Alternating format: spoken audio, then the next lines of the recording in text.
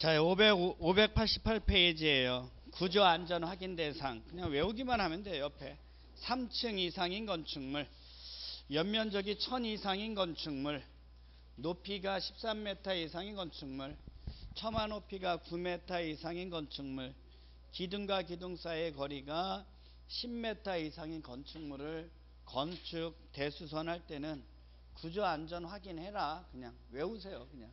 자, 이 건축물 안전해야 되잖아요.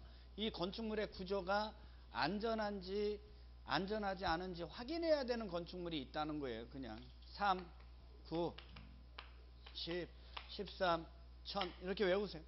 3은 층수예요. 3층 이상. 9는 처마 높이. 10은 기둥 기둥 거리. 13은 높이. 1000은 연면적. 외우세요. 넘기세요 이제.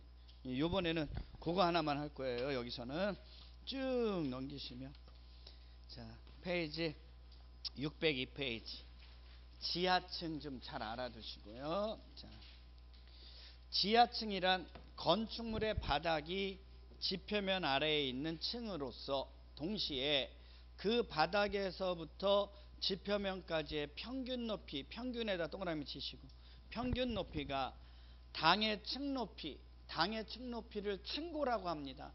층고의 2분의 1 이상인 것 요게 지하층이더라 이런 얘기고요.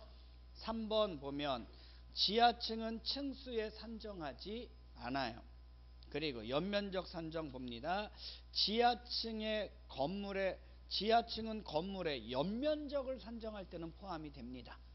근데 뒤에가 되게 중요해요. 용적률 산정함에 있어서는 연면적에 지하층 면적은 포함된다, 제외된다, 제외된.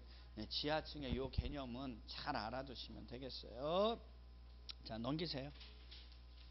자, 이번에는 606페이지 3번 대지의 분할 제한 나와요. 외우면 돼 이거. 자, 건축물이 있는 대지는 다음의 규모 이상의 범위 안에서 조례가 정하는 면적에 못 미치게 분할할 수 없다. 주거지역 60, 상업지역, 공업지역 150, 녹지지역 200, 기타 지역은 60. 외웁니다. 주미 60, 주미 60, 상공 150, 녹 200. 이렇게 외우면 된다고요. 같이 외워요, 지금 빨리. 주미, 상공, 녹 200. 그래요. 넘기세요. 이번에는 높이 제한입니다. 자, 건축법상 높이 제한 방식은 두 가지. 609페이지 1번 가로구역 단위 허가권자가 무슨 높이 정해서 최고 높이 그것만 알면 돼. 허가권자에다 줄 긋고 가로구역 단위에 줄 긋고 최고 높이 지정 공고할 수 있다. 줄 그어놓으면 돼요. 근데 밑에 큰 2번 최고 높이가 정하여지지 아니한 가로구역이라면 줄깁니다. 건축물의 각 부분의 높이는 그 부분으로부터 전면도로 반대쪽 경계선까지 수평거리의 1.5배를 넘을 수 없다. 그거 알면 되고요. 3번 일조권 확보를 위한 건축물의 높이 제한이에요. 전용 주거지역, 일반 주거지역 놓으시고 전용 주거지역이나 일반 주거지역이라면 건축물의 건, 건축되는 건축물 모든 건축물은 일조권을 위해서 정북 방향의 인접대지 경계선으로부터 일정 거리를 띄어라. 다른 것만 알 필요 없고 그냥 전용 주거지역 일반 주거지역이면 모든 건축물 이렇게 알면 돼요. 611페이지 갑니다. 공동주택이라면 일조권 적용받아라. 근데 줄겁니다. 일반 상업지역 중심 상업지역은 못 된다. 제외. 그것만 알면 돼요. 넘기세요. 자 이번에는 613페이지 적용 배제입니다. 2층 이하로서 높이가 얼마 이하인 거 8m 이하인 건축물에 대해서는 일조권을 적용하지 아니할 수 있다. 넘기세요. 쭉쭉. 이번에는 619페이지 면적 산정 이거 되게 중요합니다. 대지 면적 기본적인 개념만 알아두세요. 대지의 수평 투영 면적. 2번 건축 면적입니다. 넘기시면 건축물의 외벽 외벽에 무슨 선? 중심선 동그라미 중심선으로 둘러싸인 부분의 수평 투영 면적 자, 옆에 바닥 면적 갑니다. 건축물의 각층 즐으시고 각층 또는 그 일부 즐으시면 돼요.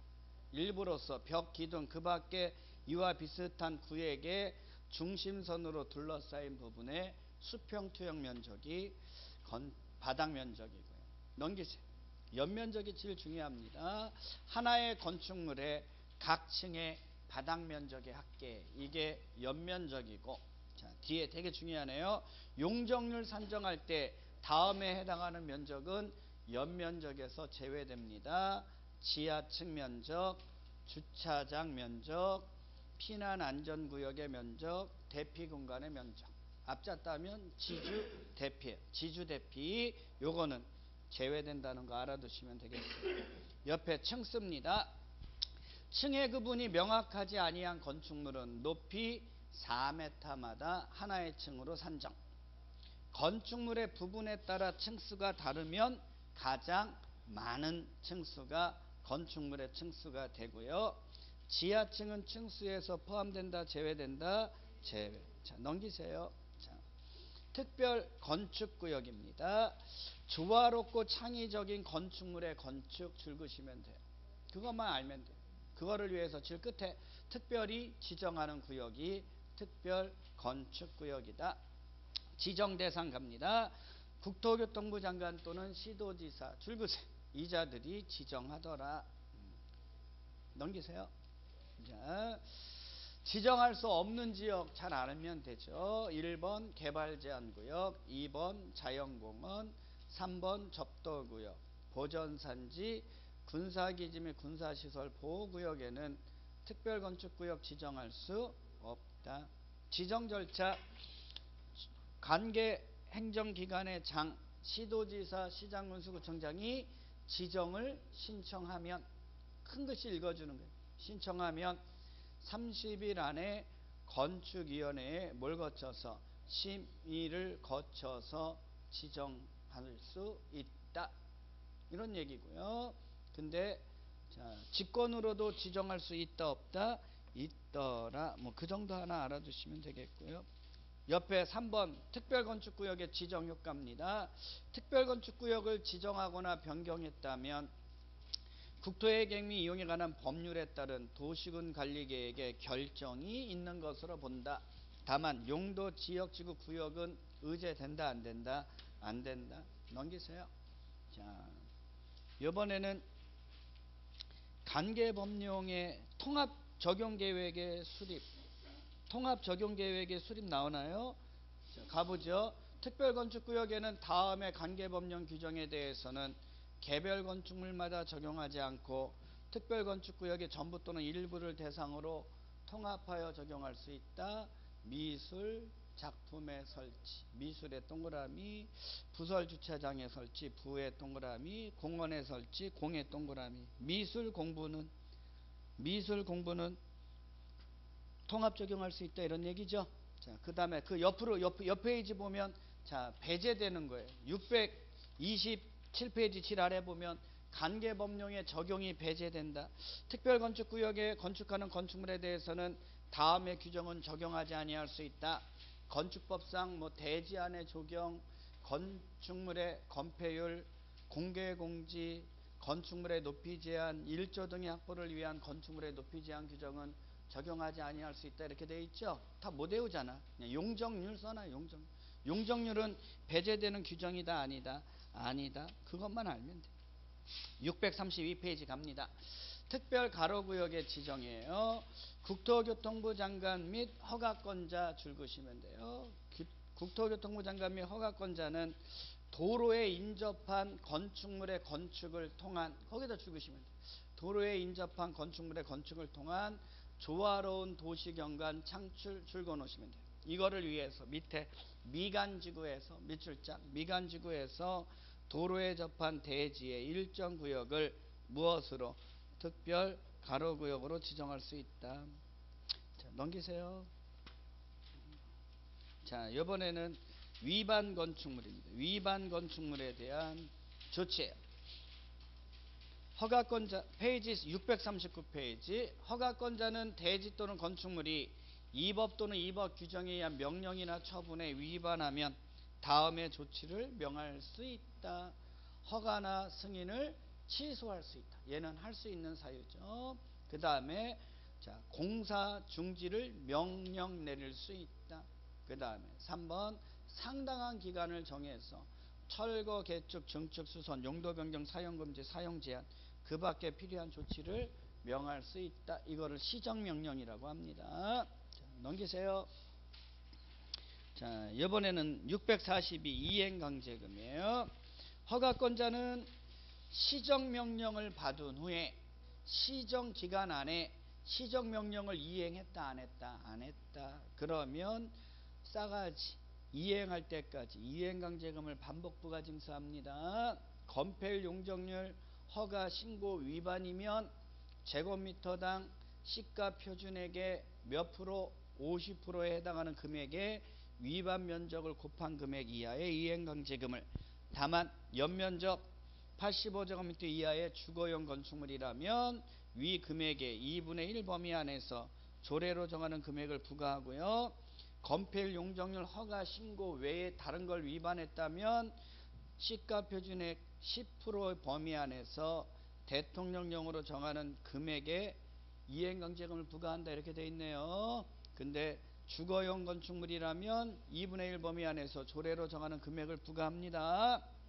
부과 횟수는 1년에 2회 이내 줄거놓으시고 2회 이내 이행될 때까지 반복해서 이행강제금 부과징수할 수 있는데 연면적 85제곱미터 이하의 무슨 용이라면 주거용 건축물이라면 총 부과 횟수 몇 회 5회를 넘지 않는 범위 안에서 조례로 따로 정할 수 있다.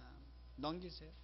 이행강제금의 부과 절차는 문서로 부과하고 이행할 때까지 반복적으로 부과징수하더라. 근데 2번 시정명령을 이행했다면 새로운 이행강제금의 부과는 즉시 뭐하고 중지하고 이미 부과된 이행강제금은 악착같이 뭐해라 징수해라. 네, 그거예요. 끝이에요. 여기에서 설명해 주는 거. 하여튼 면적 층수 이거는 꼭 외우시고 면적 층수 이거 구하는 거는 꼭 알아두셔야 되고요. 그 다음에 뭐한 가지 설명해 주면 높이 규제에 관련된 거 설명해 주면 높이 규제는 건축법에서 높이 규제는 두 가지. 하나는 가로구역 단위, 하나는 일조권. 끝. 가로구역 단위로는 이것만 알면 돼. 허가권자가 무슨 높이, 최고 높이를 지정 공고에서 할 수 있는데 최고 높이가 정해지지 않았다면 건축물의 각 부분의 높이는 그 부분으로부터 전면도로 반대쪽 도로 경계선의 수평거리에 1.5배를 초과할 수 없다. 이거 적용한다는 거 알면 되고. 일조건이 시험 문제 잘 나오는데 일조건은 이거예요. 전용 주거지역하고 일반 주거지역이라면 무조건 내고 받는다. 여기는 모든 건축물 일조건 적용받는다.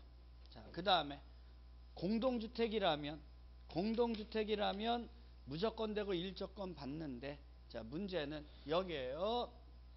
일반 상업지역, 일반 상업지역하고 중심 상업지역은 일조건이 적용된다 안 된다. 예, 이것만 알면 돼. 됐어요? 예, 그 다음에 2층 이하다. 2층 이하니까 층의 구분이 명확하지 않으면 몇 메타마다 4메타마다 하나 층이니까 8메타 이하겠죠. 이거는 자 조례가 정하는 바에 따라 일조건 적용하지 아니할 수 있다. 이런 거 문제 한번 내보죠. 알았나 몰랐나? 준주거에 준주거 지역의 단독주택은 준주거 지역의 단독주택은 일조건 받는다 안 받는다? 받는다 안 받는다? 뭘 받아요 받기는 단독주택이니까 안 받지 아 무슨 주택이어야지 받는다 안 받는다고요 됐어요? 자, 여보세요. 일반 주거 지역이다. 일반 주거 지역의 단독 주택이다. 받아요, 안 받아요? 아, 무조건 되고 받는다고요. 무슨 주거 지역이니까. 모르는 거야, 지금 이 얘기가 무슨 얘기인지. 전용 주거 지역, 일반 주거 지역이면 무조건 되고 받는다고 이해하셨어요? 전용 주거 지역, 일반 주거 지역이면 무조건 되고 받는다고 이해하셨어요? 네. 자, 그 다음에 보세요. 준주거 지역에 준주거 지역에 아파트 받아요 안 받아요? 아파트니까 받아요. 공동주택이면 이제 무조건 되고 받는다 원래는 근데 만약에 일반 상업지역이다. 일반 상업지역의 아파트는 받아요 안 받아요? 무조건 되고 안 받는다고. 일반 상업지역 중심 상업지역은 적용된다고 안 된다고. 이거 외우라고 이거 이거를 이해하셨어요? 예. 이해하셨냐고 이 말이 이 말이라고요. 전용 주거 지역, 일반 주거 지역이면 무조건 되고 일조건 받는다. 근데 공동주택이면 일조건 받는다. 하지만 일반 상업 지역, 중심 상업 지역이면 받는다 안 받는다. 그래요. 그거 하나 알으라고요. 됐나요? 자, 그 다음에 연면적 되게 중요하니까 설명해 줘요. 연면적은 하나의 건축물의 자 바, 바닥 면적이 있죠. 바닥 면적의 합계를 뭐라고 한다? 연면적이라고 하는데 자 이럴 때는 지하층 면적 포함한다 제외한다 포함해요 연면적만 계산할 때는 근데 용적률이 있잖아 용적률은 대지 면적에 대한 연면적의 비율 맞죠? 네, 이거는 국회법 시간에 배운 거예요. 자, 얘는 간접적으로 높이를 규제하니까 층수를 규제하죠. 그쵸? 따라서 이 연면적에는 지하층 포함된다 안 된다? 예, 지하층은 층수에 포함되지 않으니까 주차장 면적 된다 안 된다? 대피 공간의 면적, 피난 안전구역의 면적 이 용적률을 계산할 때 이 연면적에는 이 네 가지가 포함이 안 된다는 거예요. 이거를 잘 알아두시라고. 이거 맨날 시험 문제 나오니까. 이해하셨어? 예, 그래요. 그거예요. 그 다음에 중요한 거. 자, 대지분할 제한 면적. 이거 시험 문제 많이 나와요. 아무것도 아닌데. 대지분할 제한 기준 면적이 있다. 주미 60, 상공 150, 녹이 200. 그거 꼭 외워두고. 됐어요? 예, 그럼 나머지 끝나고. 또 이행강제금 설명하면 이행강제금은 자, 시정 명령을 내렸는데 자, 요 기간 안에 하더라 안 하더라 안 하면 싸가지 허가권자가 이행강제금 부과하는 거다.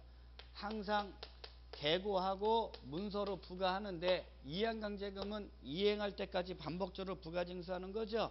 그래서 반복 횟수가 중요한데 얘는 건축물은 1년에 2회 이내에서 2회 이내 토지라면 우리 국회법 토지거래 허가제에서 한번 배웠어요. 토지라면 무조건 되고 1년에 한 번씩이에요. 근데 건축물은 1년에 2회 이내. 얘는 건축물이니까 시가 표준액을 기준으로 시가 표준액 이런 거 세법 시간에 배웠어요. 네, 배웠으면 좋겠네요. 자, 이거를 해서 중요한 건 50% 곱하기 위반 면적.